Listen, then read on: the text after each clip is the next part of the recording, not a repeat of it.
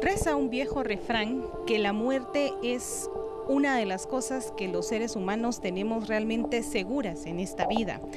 Y la última morada precisamente de, los muertos es el cementerio.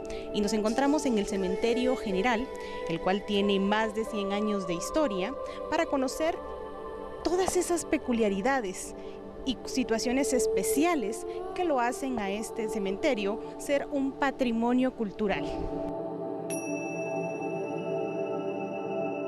El cementerio general tuvo cambios de localidad antes de establecerse permanentemente donde actualmente lo conocemos. El primer traslado fue en 1770 y se ubicaba detrás de la catedral y se le nombraba Cementerio del Sagrario, situado en lo que hoy es el Mercado Central. El segundo fue durante 1779 en donde ahora es el Parque Enrique Gómez Carrillo, antes llamado Camposanto Los Remedios. Y el tercero fue en 1833, ubicado muy cerca del Hospital San Juan de Dios, por lo cual el cementerio llevaba el mismo nombre. Estos traslados se debieron a cuestiones sanitarias debido a un brote de cólera morbus. Se hace un estudio entonces para la localización del nuevo cementerio y dentro de los puntos que fueron vistos por la comisión nombrada al efecto se escogió un potrero llamado Lo de García. Este fue adquirido entonces por el gobierno y en el año de 1881 se abre el nuevo cementerio general que fue trazado de acuerdo a la visión romántica europea, es decir, dividido por calles, con vegetación, jardines y muchas obras de arte, especialmente de mármol, para que le diera un aspecto de, belleza, de meditación y contemplación a través de estos eh, monumentos.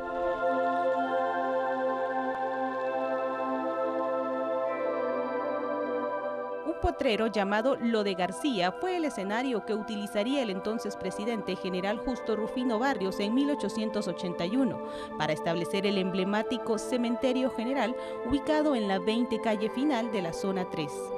A partir de entonces, miles de mausoleos, nichos y panteones de todos los estratos sociales conforman este camposanto.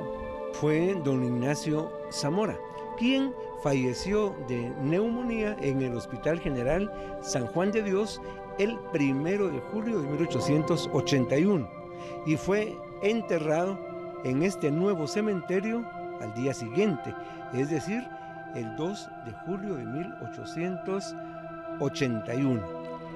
Posteriormente, hay que recordar que había un cementerio anterior llamado San Juan de Dios y todos los restos que se encontraban depositados en aquel cementerio fueron trasladados a este nuevo cementerio.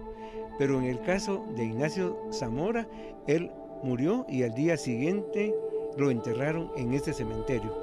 A partir de entonces, este cementerio empezó a recibir los restos de muchísimas personas nacionales y extranjeras este centenario Camposanto es un libro abierto de incontable riqueza histórica y arquitectónica.